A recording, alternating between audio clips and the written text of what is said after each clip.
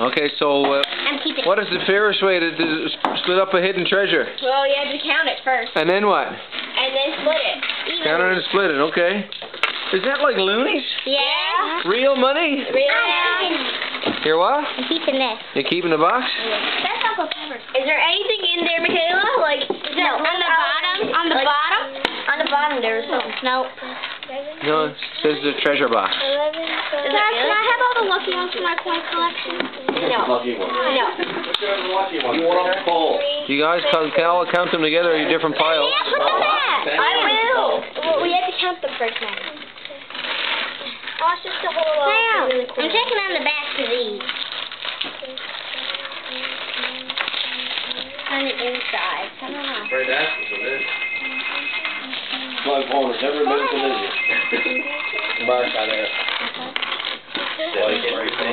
Hello.